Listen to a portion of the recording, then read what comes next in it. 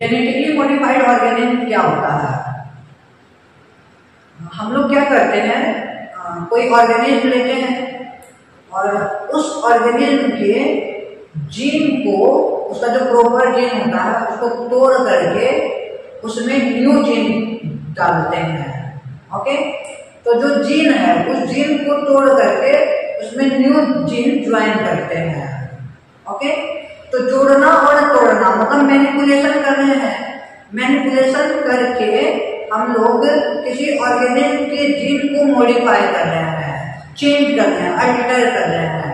Okay ऐसे organism जिसका gene alter किया जाए by manipulation that is called genetically modified organism और जेनेटिकली मॉडिफाइड ऑर्गेनिज्म के बहुत सारे यूजेज होते हैं। ओके क्या क्या यूज़ है, ये हम लोग अभी देखेंगे। Genetically modified organism the organism whose gene has been altered by manipulation. Okay? Gmo है यूजफुल इन मैनी वेज तो जेनेटिकली मॉडिफाइड ऑर्गेनिज्म का बहुत सारे यूज़ होता है। और जेनेटिकली मॉडिफाइड ऑर्गेनिज्म को शॉर्टली में हम लोग जीएमओ बोलते हैं। जी जीएमओ ओके और जीएम प्लांट्स का बहुत सारे यूजेज हैं। क्या क्या यूज़ है? तो देखिए। बहुत सारे प्लांट्स ऐसे होते हैं जो ए बायोटिक फैक्टर से इफ़ेक्ट होते हैं। जैसे यदि ज़्यादा कॉल्ड आ जाए तो ज़्यादा कॉल्ड में प्लांट ग्रो नहीं कर पाएगा। क्रॉप अच्छे से ग्रो नहीं करेंगे, या फिर ज़्यादा हीट हो जाए तो ज़्यादा हीट में प्लांट अच्छे से ग्रो नहीं करेंगे। तो प्लांट में या फिर क्रॉप्स में ऐसा मॉडिफिकेशन लाया जाता है जीन को अल्टर किया जाता है कि वो हीट को भी रेसिस्ट कर सके कॉल्ड को भी रेसिस्ट कर सके ड्रॉट को भी रेसिस्ट कर सके, ज़्यादा सॉल्ट को भी रेसिस्ट कर सके। ओके तो जेनेटिक मॉडिफिकेशन के थ्रू हम क्रॉप्स को ए बायोटिक स्ट्रेस से रेसिस्टेंट बना सकते हैं। ओके तो genetic modification has made crops abiotic resistant okay या फिर रेसिस्टेंट टू एबायोटिक स्ट्रेस ठीक है? इसके बाद सेकेंड थिंग्स देखिए। सेकेंड थिंग्स क्या है? फ़र्स्ट थिंग्स क्लियर हो गया। Made crops more tolerance to abiotic stress okay abiotic stress के अगेंस्ट प्लांट्स को मोर टॉलरेंस बना सकते हैं। मतलब ज़्यादा स्ट्रेस सह सके ओके दूसरा क्या है? यदि जेनेटिक मॉडिफिकेशन होता है तो जेनेटिक मॉडिफिकेशन से हम लोग पेस्ट रेसिस्टेंट प्लांट बना सकते हैं। पेस्ट रेसिस्टेंट प्लांट मीन्स ऐसे प्लांट जो पेस्ट के अगेंस्ट रेसिस्ट कर सके। जैसे हम लोग पढ़ते हैं बीटी कॉटन एक इंसेक्ट होता है जो कॉटन प्लांट को डिस्ट्रॉय कर देता है। तो कॉटन प्लांट में ऐसे जीन डेवलप कर दें, जिससे कि इंसेक्ट ही मर जाए। ओके तो pest resistant plant pest resistant plant भी हम लोग बना सकते हैं बाय जेनेटिक मॉडिफिकेशन ओके तो सेकंड चीज़ हो गया reduce reliance on chemical pesticides जब हम पेस्ट रेसिस्टेंट प्लांट बना लेंगे तो हमें पेस्टिसाइड्स पे डिपेंड नहीं रहना पड़ेगा ओके तो पेस्टिसाइड्स पे डिपेंड नहीं होगा तो मतलब हमारे जो सॉइल्स हैं, वो उसका फर्टिलिटी लॉन्ग टाइम तक बरकरार रहेगा ओके फिर देखिए जेनेटिक मॉडिफिकेशन से क्या हो सकता है? Genetic modification post harvest loss को भी कम करता है। Post harvest loss means harvesting करने के बाद भी क्रॉप्स का लॉसेस हो सकता है। ओके जैसे मान लीजिए हम वीट लगा है गेहूँ लगा है गेहूँ हार्वेस्ट होने के बाद भी गेहूँ घर में आया, अब घर में आने के बाद वो धीरे धीरे उसमें कीड़े लगना शुरू हो गए। ओके तो वो गेहूँ में कीड़े लग रहे हैं। हार्वेस्ट करने के बाद आपके घर में हार्वेस्टिंग करने के बाद गेहूँ बर्बाद ना हो, धान बर्बाद ना हो ओके पल्सेस बर्बाद ना हो। तो इस चीज़ को रोकने के लिए हम लोग जेनेटिक मॉडिफिकेशन करते हैं ओके तो we can reduce post harvest loss by genetic modification okay इसके बाद देखिए प्लांट्स को ग्रो करने के लिए मिनरल्स चाहिए। तो यदि हम लोग जेनेटिक मॉडिफिकेशन कर देते हैं प्लांट्स में तो प्लांट्स मिनरल्स यूज़ करने की एफिशिएंसी उसका इंक्रीज हो जाएगा। ओके तो increase the efficiency of usages of minerals by plants okay तो प्लांट्स का मिनरल्स यूज़ करने की एफिशिएंसी को हम लोग बढ़ा सकते हैं बाय जेनेटिक मॉडिफिकेशन ओके इतना ही नहीं। हम लोग प्लांट्स का न्यूट्रिशनल वैल्यू को भी बढ़ा सकते हैं। मतलब प्लांट्स में जनरली जैसे राइस ही हम लोग ग्रो कर रहे हैं तो राइस में ऐसा राइस ग्रो कर सकते हैं जिसमें कि विटामिन ए की मात्रा ज़्यादा हो विटामिन बी की मात्रा ज़्यादा हो तो न्यूट्रिशनल वैल्यू उसका बढ़ा सकते हैं। और इसका एग्ज़ाम्पल है गोल्डन राइस गोल्डन राइस जिसमें कि विटामिन ए इनरिच्ड राइस है ओके मतलब गोल्डन राइस में विटामिन बी ज़्यादा मात्रा में पाया जाता है। ओके तो ये पॉसिबल है जेनेटिक मॉडिफिकेशन के द्वारा। ओके तो जेनेटिक मॉडिफिकेशन के द्वारा हम लोग न्यूट्रिशनल वैल्यू को भी इंक्रीज कर सकते हैं। तो ये सारे जेनेटिक मॉडिफिकेशन का बेनिफिट है। और ये चीज़ देखिए जेनेटिक मॉडिफिकेशन हम लोग कैसे कर सकते हैं? बायोटेक के थ्रू कर सकते हैं। ओके जेनेटिक इंजीनियरिंग के थ्रू कर सकते हैं। तो जेनेटिक इंजीनियरिंग का बहुत सारे एप्लीकेशन है। तो इस तरह देखिए जेनेटिक मॉडिफिकेशन का एप्लीकेशन कहाँ पे हो रहा है? एग्रीकल्चर में। प्लांट्स में यदि हम लोग जेनेटिक मॉडिफिकेशन कर रहे हैं तो इसका एप्लीकेशन हो रहा है एग्रीकल्चर में। इसके अलावे इस चैप्टर में हम लोग को एप्लीकेशन जिसका मेडिसिन में देखना है ट्रांसजेनिक एनिमल्स में देखना है, और इसका इथिकल इशू भी देखना है। ओके इथिकल इशू क्या हुआ? Ethical issue means genetic modification से समाज में इसका क्या इफ़ेक्ट पड़ रहा है? ओके जैसे कभी कभी किसी ऑर्गेनिक अब मान लीजिए किसी ह्यूमन का ले लिए ह्यूमन में कोई हम एक्सपेरिमेंट कर रहे हैं, उसका जीन चेंज कर रहे हैं, लेकिन उसका बैड इम्पैक्ट पड़ जाएगा। तो कानून क्या हमें से इसका अलाउ देगा ह्यूमन में कोई भी चीज़ एक्सपेरिमेंट करने का? नहीं देगा। ओके ह्यूमन में हम एक्सपेरिमेंट नहीं कर सकते हैं। क्योंकि आज मान लीजिए किसी ह्यूमन का जीन कट करके है, कोई एक्सपेरिमेंट कर रहे हैं और उस एक्सपेरिमेंट की वजह से ह्यूमन का डेथ हो जाए तो उसके लिए कौन रिस्पॉन्सिबल होगा? कोई होगा? नहीं होगा।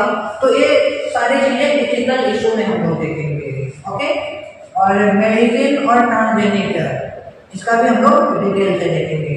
अभी हम लोग एग्रीकल्चर में बायोटेक का एप्लीकेशन देखते हैं। एग्रीकल्चर में बायोटेक का क्या एप्लीकेशन है? इसमें हम लोग दो चीज़ें देखेंगे।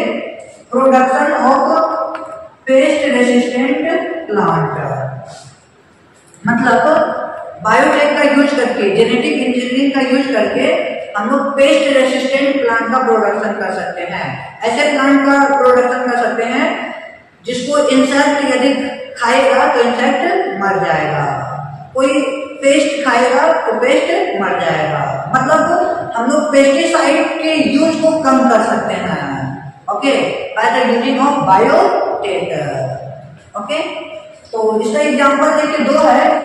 बायो पेस्ट बना करके और दूसरा आरएनए इंटरफेरेंस आरएनए इंटरफेरेंस या फिर आरएनए आई ओके तो पहले चलिए हम लोग देखते हैं बायो पेस्टिसाइड कैसे बनाया जाता है। एक टॉक्सिन होता है BT toxin BT toxin Bacillus thuringiensis bacteria से प्रोड्यूस होता है। ओके बेसिलस चूरेनजेनेसिस को शॉर्ट वर्ड में बोलेंगे BT okay BT means BT Bacillus thuringiensis मतलब BT okay BT toxin produce होता है बेसिलस चूरेनजेनेसिस से।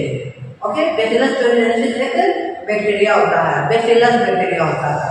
ओके बैक्टीरिया का आप लोग बहुत सारे टाइप्स पढ़े होंगे। बेसिलस बेसिलस के अलावे जो एस्पेरिकल सेप्ड बैक्टीरिया होते हैं कोकस एस्पाइरिलम विब्रियो ओके तो हाँ on the basis of shape तो उसी में एक है बेसिलस। तो बेसिलस चिकनजेनेसिस है एक टॉक्सिन निकलता है जिसको बोला जाता है बीटी टॉक्सिन ओके तो बीटी टॉक्सिन एक्चुअली ये टॉक्सिन कंटेन करता है इंसेक्ट को किल करने वाला। ओके ये टॉक्सिन इंसेक्ट को किल कर देता है। तो इस टॉक्सिन को, इस जीन को हम लोग आइसोलेट कर सकते हैं। ओके और इस जीन को आइसोलेट करके हम लोग इसको कल्चर करेंगे और कल्चर करके प्लांट में इंट्रोड्यूस कर देंगे।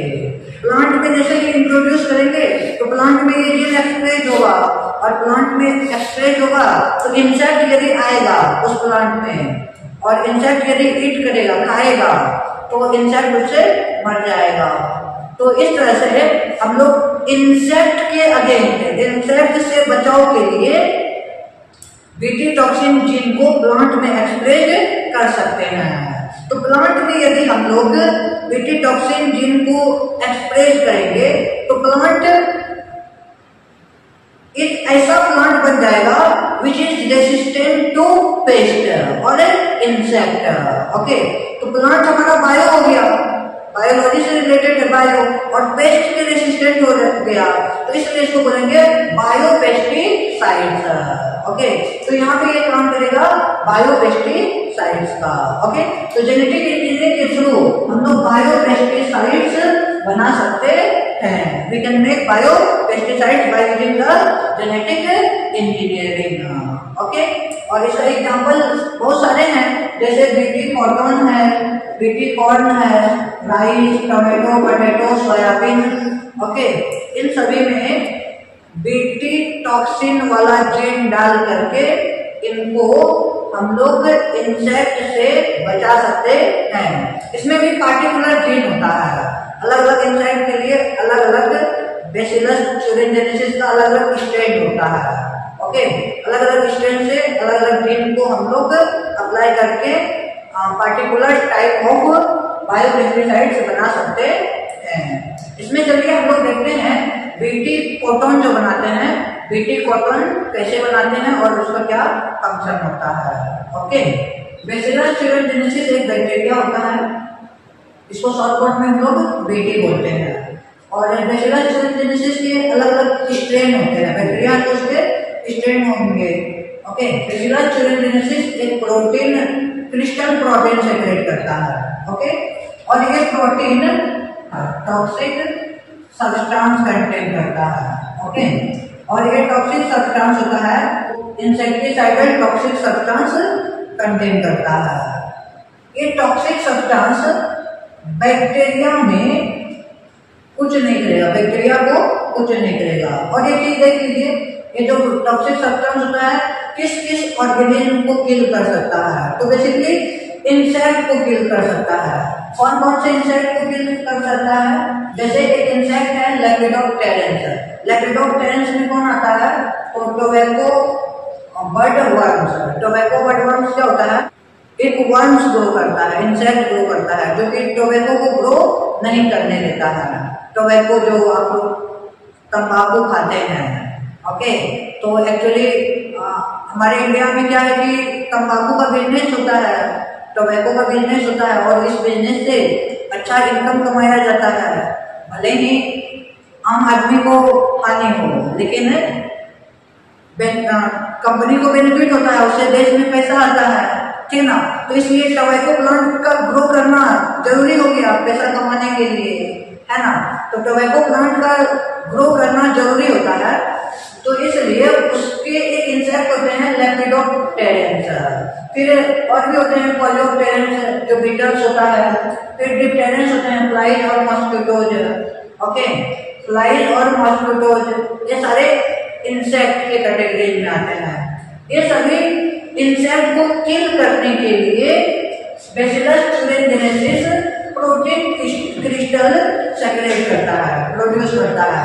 और इस प्रोटीन क्रिस्टल में कंटेंट होता है इंसेक्टिसाइडल टॉक्सिन ओके और ये टॉक्सिन बेसिलस चुरेंजेनेसिस को किल नहीं करेगा। बेसिलस चुरेंजेनेसिस को किल क्यों नहीं करेगा? तो ये जो टॉक्सिन प्रोड्यूस होता है, ये प्रोटॉक्सिन के रूप में बैक्टीरिया में प्रोड्यूस होता है। ओके क्रिस्टल फॉर्म में प्रेजेंट होता है। जैसे कि कोई इंसेक्ट इसको ईट करेगा। इंसेक्ट मान लीजिए इसको खाया। तो इंसेक्ट के खाने के बाद ये इंसेक्ट के गट में जाएगा।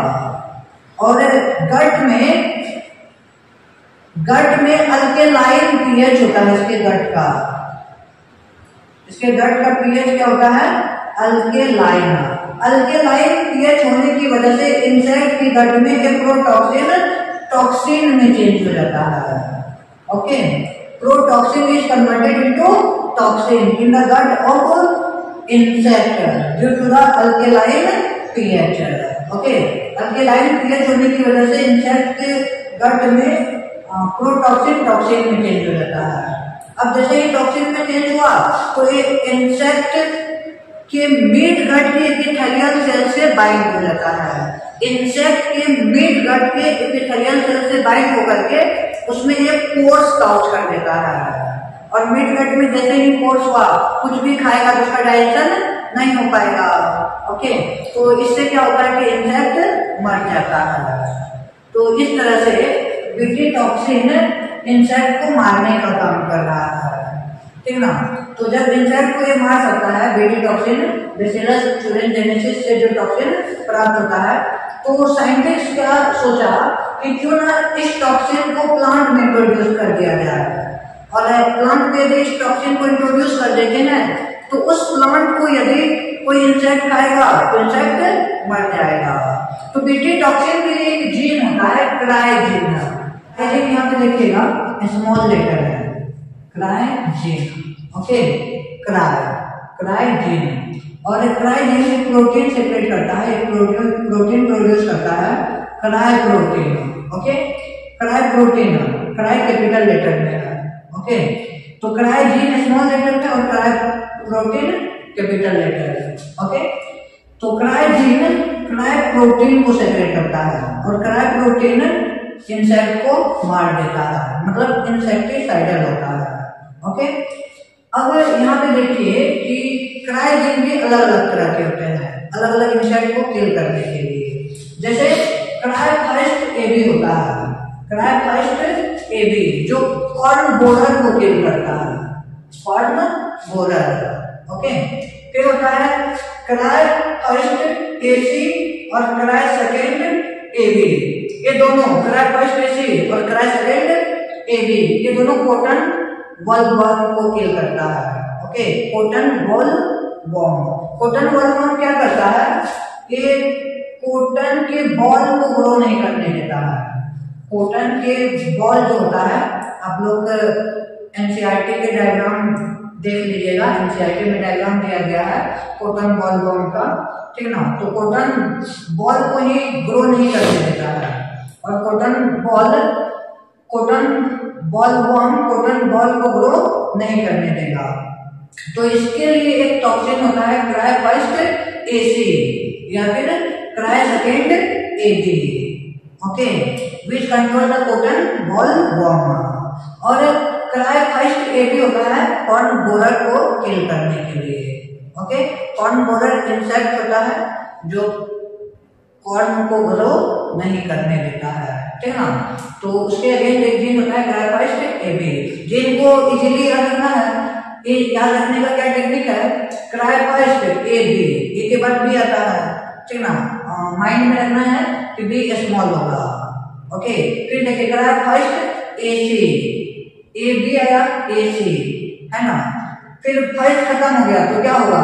क्राय सेकेंड ए बी है ना?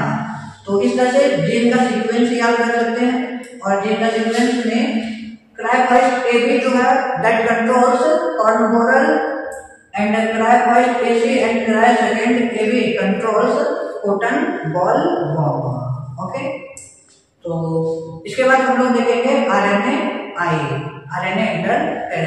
वो हम लोग नेक्स्ट क्लास में देखेंगे। Thank you so much